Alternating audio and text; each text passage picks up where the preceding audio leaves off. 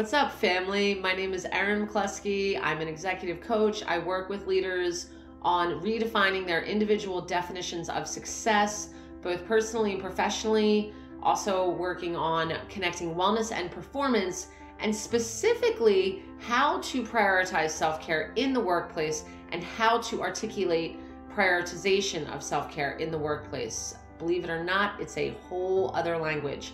So, welcome to Mini Bytes session 67.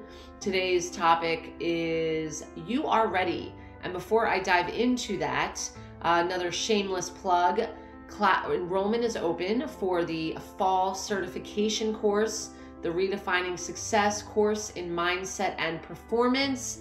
And if you register before August 30th, you receive a discount sign up today. Go to my website, www.erinjewellcoaching.com. There are many aspects, uh, not only a 12 hours of amazing, amazing, amazing curriculum around mindset and performance that has taken taken almost 20 years for me to uh, finally pull together and be able to put together a, a curriculum.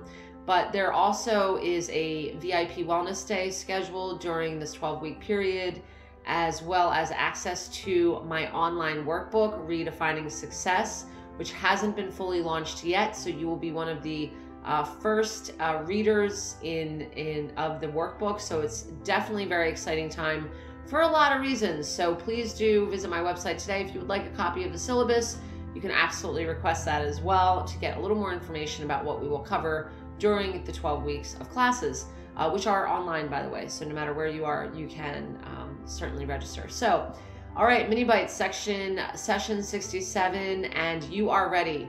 You are ready, my friends. If there is something happening in your life today, or there is a question that you have about moving forward in some area of your life, I'm here to tell you yes, do it. You are ready.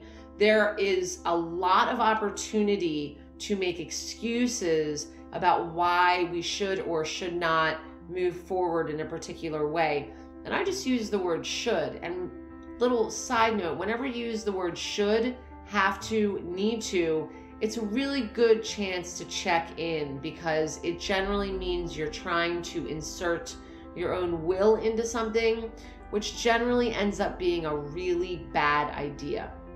So, taking the word should out. If there's an area in your life where you feel like you want to move forward, it could be anything. You're going through some type of a transition right now. Perhaps you've been at a company for a long time and you have felt comfortable in your position in that company for some time, and it's leading to some complacency.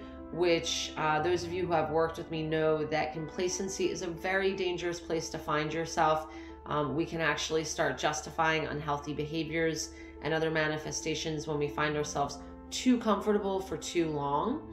And so if you that's one one situation where you find yourself in a job for a long period of time and you haven't really made any changes or perhaps you find yourself in a situation where you've just been promoted or you're about to be promoted and you're feeling hesitant, maybe suffering a little bit from what is known as imposter syndrome. If you haven't looked into that yet and you're feeling like a fraud in whatever area of life you find yourself right now, I invite you to Google that word. It is a thing. There have been many articles published on it. Harvard Business Review has done multiple publications on imposter syndrome.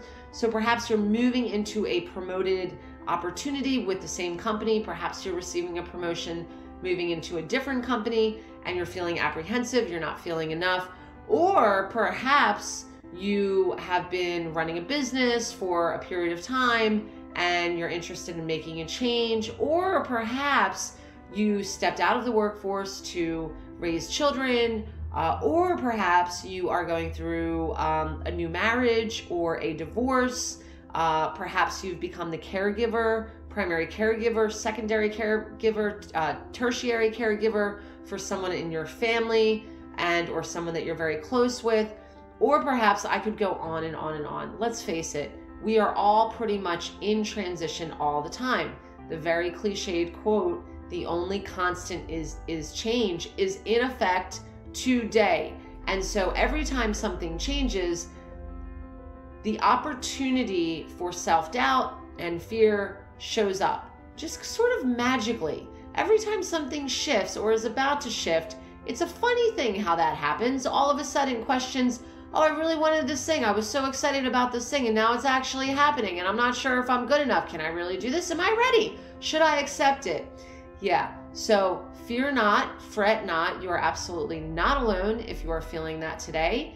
And the answer to all of those questions, even if some of the questions you have I haven't mentioned during our time together, the answer is yes, you're ready. Because guess what? You're not ready. And guess what? I'm not ready. Guess what? None of us are really ready.